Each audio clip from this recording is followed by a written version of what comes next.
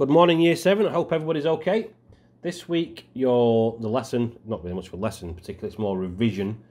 I'm going to ask you guys to create a wall display based on one of the topics we covered in Year 7. Don't worry, it's not exactly like a wall display, although you can if you really wanted to. Um, it's a bit easier than that, but we'll get on to that in a second. First things first then, what did we do? So the topics, the three topics we covered in full this academic year were the school system, that's how to log in, how to send an email, how to send an attachment, how to create a folder, types of computer, which was like you know software, utility software, hardware, what's inside a computer, like the RAM and the CPU, things like that. Don't worry, I'm going to put all the relevant knowledge organisers on Show My Homework so you can refresh your memory whenever you want.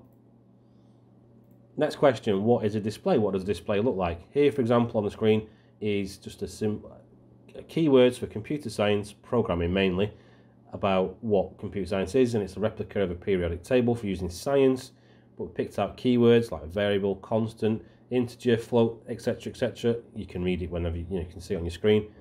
If you want other ideas about, you know, the, the world is your oyster when it comes to wall displays. I mean, another example is you can just search Google for awesome classroom display or something like that. There's like literally millions of images will come up that you can get some inspiration from. Right, to clarify then, your task is to sketch out or create a wall display for one of the topics we have covered this academic year. The knowledge organizer on Show My Homework. As always, you can use good old pen and paper just to sketch one out. You can use PowerPoint, you can use any other software or website you find useful to give create the display. Obviously, if you want to if you want to send me a file, I'll be able to open it. If you want to send me a screenshot or an attached that, excuse me, or just take a picture, upload that, that's fine. You know, this is a video to remind, just to remind you guys for the whatever 14th time. This is a video so you can rewind it or, you know, go back and watch it again.